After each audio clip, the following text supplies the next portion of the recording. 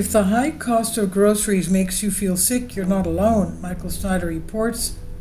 If you are really struggling with the high cost of living, I want you to know that you are not alone. In recent months, I've been hearing from so many people that feel like they are drowning financially.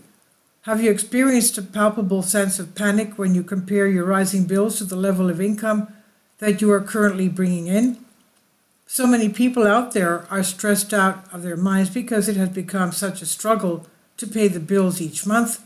As I discussed a few days ago, a typical US household must now spend $1,069 more a month just to buy the exact same goods and services that they did three years ago. And over the course of an entire year, that's almost an extra $13,000. Month after month, prices just keep going higher, but those that are running things continue to insist that everything is just fine. No, everything is not just fine. Last week, a TikTok video about rising grocery prices at Walmart, Walmart quickly garnered more than a million views. The person that made the video found a grocery order that he had placed two years ago, and he decided to hit the uh, reorder all button to see what the same order would cost today. A recent TikTok video has gone viral showing the user's surprising experience with Walmart's grocery prices. The user explained in his video that he tried to use the reorder all button for an order he, he placed two years ago, which originally cost $126.69. To his shock, the same order would now cost $414.39. This is quite stunning by his video, by this video.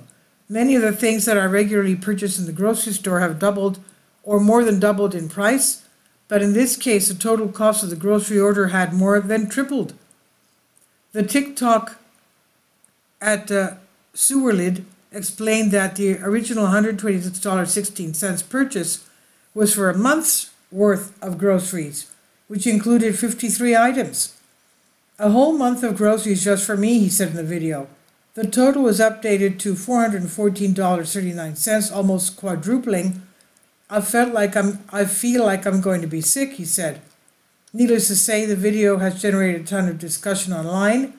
When Walmart was asked about this, they responded by saying that the primary reason there was such a difference is because the person that made the video was attempting to order discontinued items. Walmart represents representatives have responded stating that the claims in the video are not accurate. According to them, the discrepancies in prices are due to discontinued items rather than actual inflation. But this explanation certainly did not satisfy everyone. Another person hit the, re- re- the reorder all button on an older order, and that order went from $180 back then to $430 today. Viewers expressed both shock and frustration in the comments. Now I feel a little less gaslit about grocery prices because it has gone crazy, and it's not just me, wrote one person. Walmart, can you explain yourself, please? added another. A fellow shopper said they used to spend $180 for two weeks worth of groceries and are now spending over $430 for the same amount. If you think that the price of groceries is not a problem, I have a challenge for you. Fill up a grocery cart all the way to the very top with items that you typically eat and try to keep the final bill under $300. If you are smart, you can do it, but it won't be easy. In the old days, you could buy a useful a used vehicle for $300. Now many people burn through more than $300 in just one trip to the grocery store. This is just one of the reasons why inflation has become such a huge political issue. According to Gallup, inflation was not really considered to be an important issue at all prior to 2022. For the third year in a row, the percentage of Americans naming inflation or the high cost of living as the most important financial problem facing their family has reached a new high. The 41% naming the issue this year is up slightly from 35% a year ago and 32% in 2022.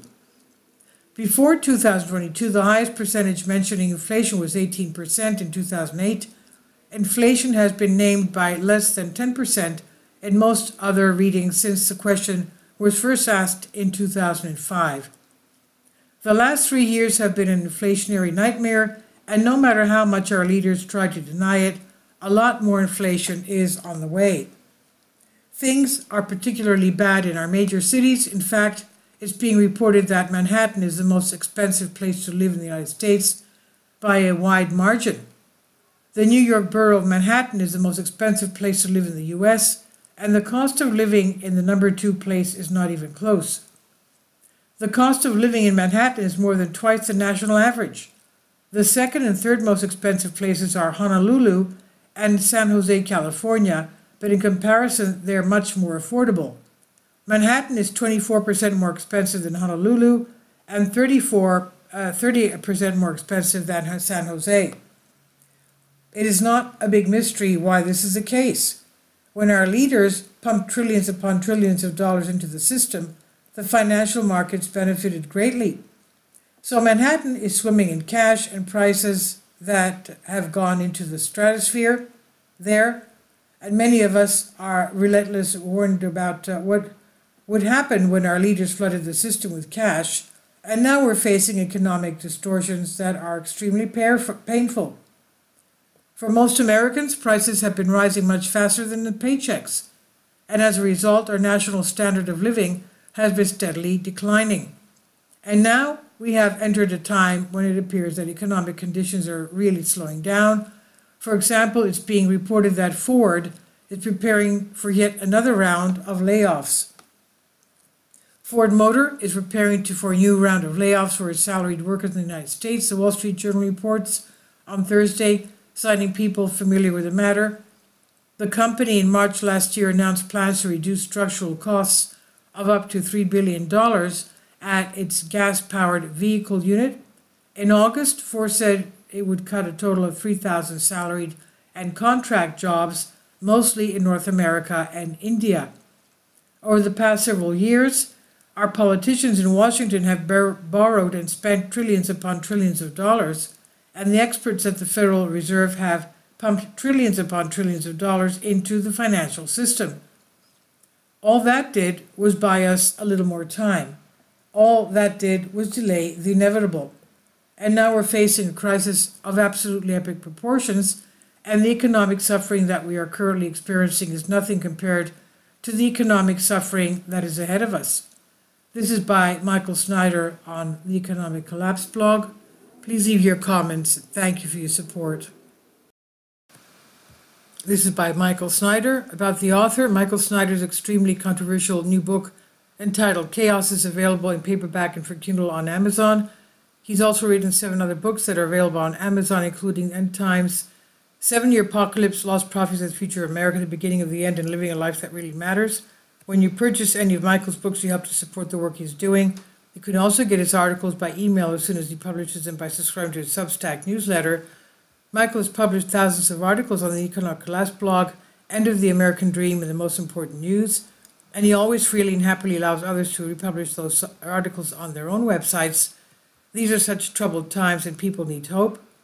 John 3:16 tells us about the hope that God has given us through Jesus Christ. For God so loved the world that he gave his only begotten son that whoever whosoever believeth in him should not perish but have everlasting life. If you have not already done so, we strongly urge you to invite Jesus Christ to be your Lord and Savior today. Finally, support my Patreon account. The daily posts are five videos daily, and they are totally different from what I have on my YouTube channel. Thank you so much for your support and that you find all my content so interesting. You'll find the Patreon account details in the description box below.